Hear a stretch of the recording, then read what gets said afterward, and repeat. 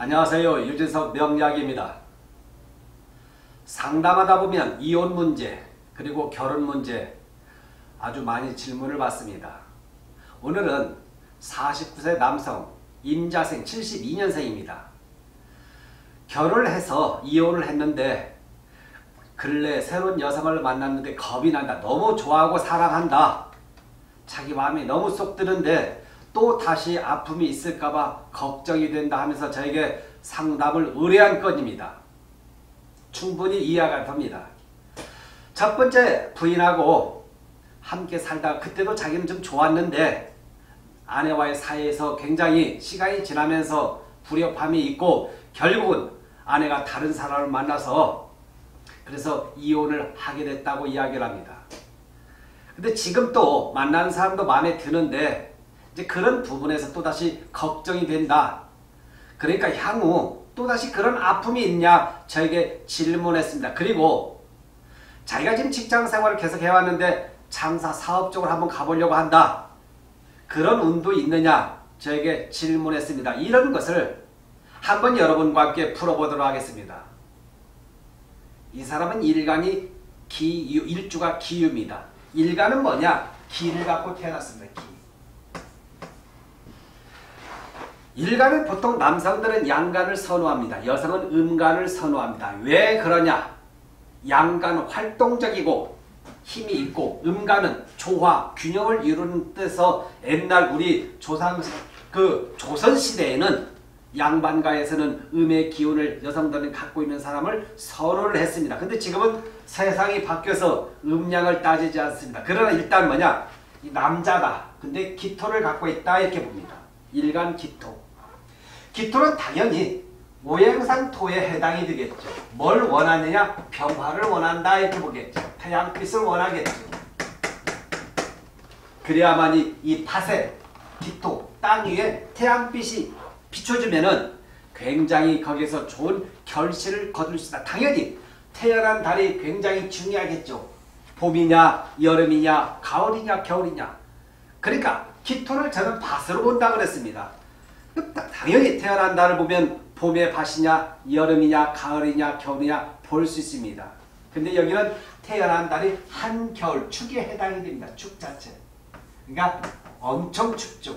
한겨울 음력으로 12월 달이죠. 축월은 12월 달에 토다.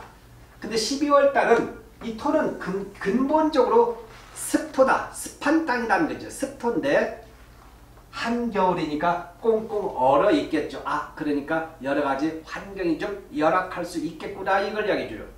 이런 경우는 병화가 생명이죠. 생명. 얘가 비춰줘야 한다 이거겠죠. 태어나는 기유입니다. 기유.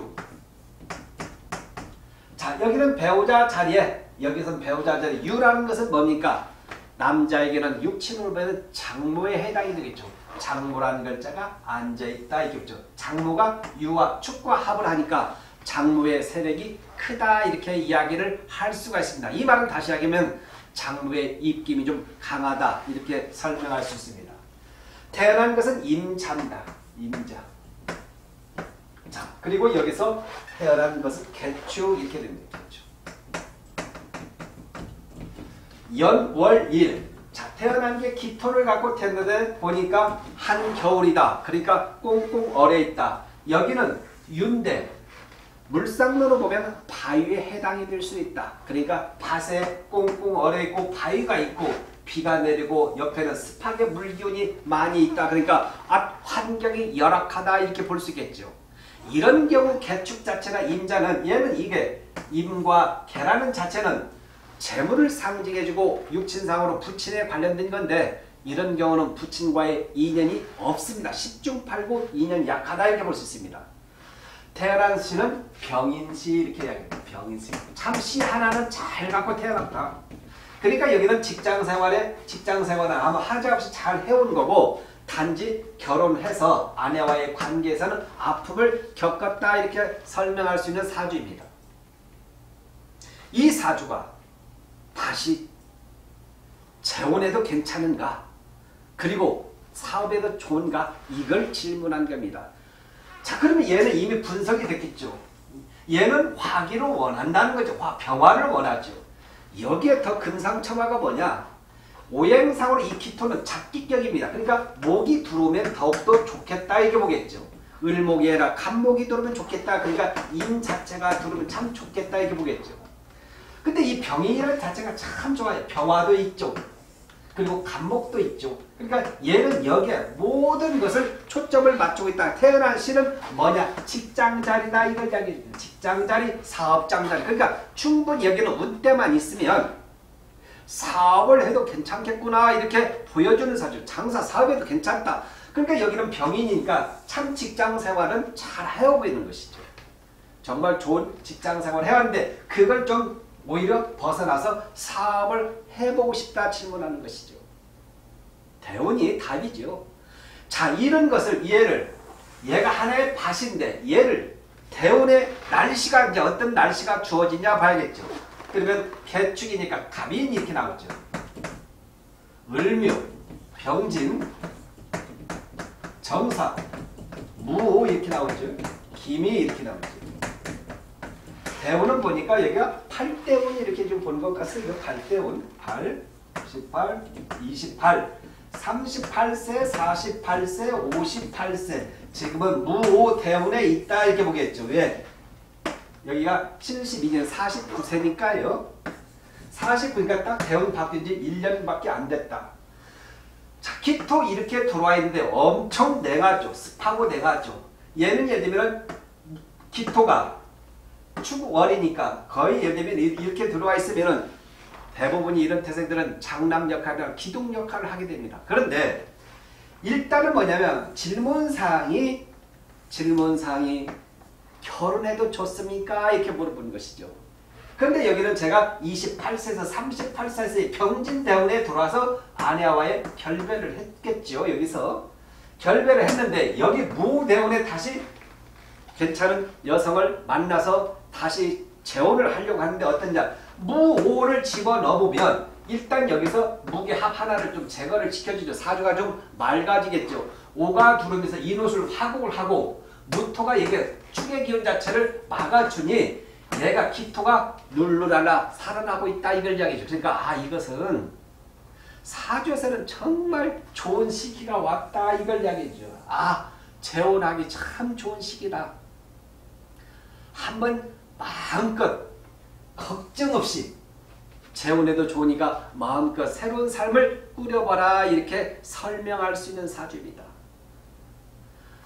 걱정 없으니까 해봐라 이렇게 하고 기미대운에 돌아도 괜찮다 선방한다 얘가 들으면서 충미충대면서 얼마나 좋은 변화를 갖고 들어오냐 괜찮다 마음껏 해봐라 알려줄 수 있는 사주죠.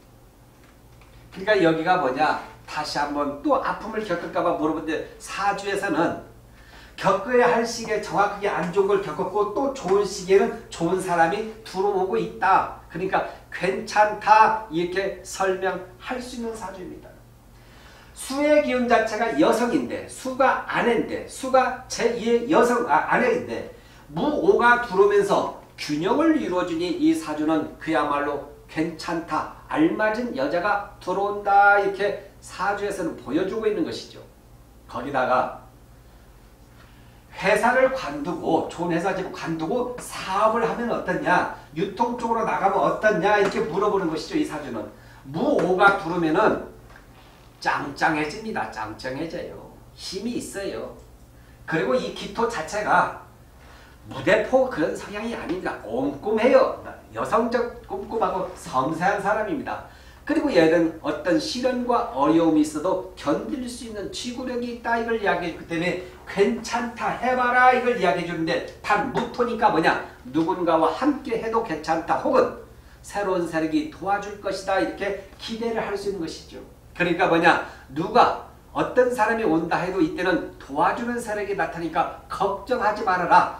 빼앗아가고 고통 주고 아픔을 주는 세력이 아니라 괜찮은 세력이 들어오니까 문을 마음의 문을 활짝 열고 장사해도 괜찮다 이렇게 설명할 수 있는 사주입니다. 이런 면에서 사주 명략은 이렇게 선명하게 알려줄 수 있는 부분에서는 굉장히 장점의 학문이다 이렇게 보겠죠. 이렇게 알려줄 수 있는 명략 빼놓고 이렇게 선명하게 사업의 길 중 그리고 운세 흐름을 정확히 짚어줄 수 있는 분야는 없습니다. 그래서 이런 명리학 이런 부분에선 참으로 장점의 학문이다 이렇게 이야기할 수 있습니다. 눈에 보듯 뻔하다. 이 사주는 사업을 해도 괜찮고 결혼을 해도 괜찮으니까 마음껏 마음 편하게 해도 괜찮으니까 이렇게 설명할 수 있는 사주입니다. 이 앞부분 참 많이 고생했다. 고생 많이 했고 이제는 뭐냐 찾아서 찾아서 뭐냐 행복한 그런 삶을 살아가도 괜찮겠구나 이렇게 이야기를 할 수 있는 사주입니다. 모든 사람이 고생 뒤에 이렇게 이런 사주처럼 좋은 결과를 맞이했으면 얼마나 좋을까 이런 생각을 해봅니다. 여러분 한번 참고해 보시기 바랍니다. 감사합니다.